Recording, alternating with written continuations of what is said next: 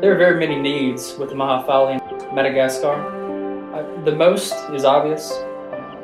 It's the need for uh, churches and evangelism. But then secondly to that, it's an area of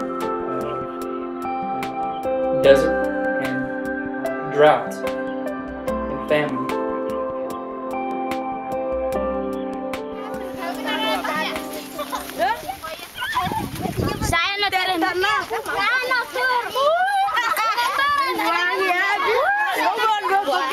Some distinctives of the Mahafaly are one that they are a uh, very feared people group on the island.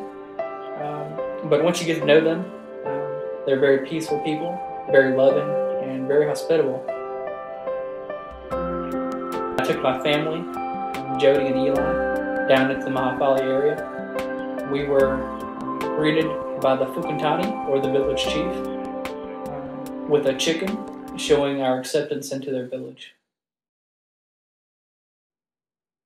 With the Mahafaly, the general understanding of God is that there is a high God, but he is not able to be known.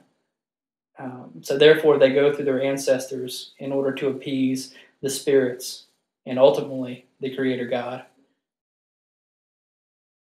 In a sense, the village is controlled by the power of the witch doctor and by the traditions that he passes on to the people.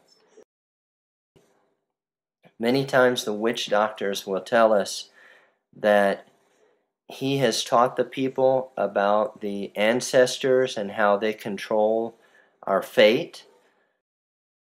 In many cases, the witch doctor will say, We've heard all about the ancestral traditions and we know how to follow the rules in order to have good luck in our everyday life, but nobody's ever come to tell us about Jesus.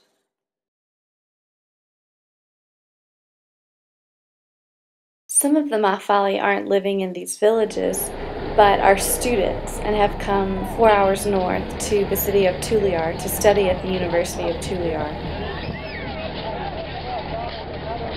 There they mix with students from lots of other people groups.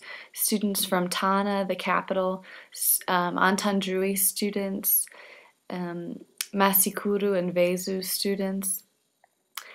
All of these students are at that point in their life when they have a chance to to hope for something and to look for something.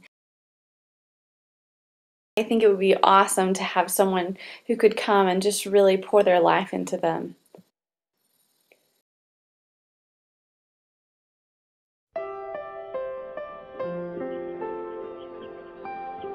Specific prayer request for the Mahafaly is that they would come to, to know Jesus Christ.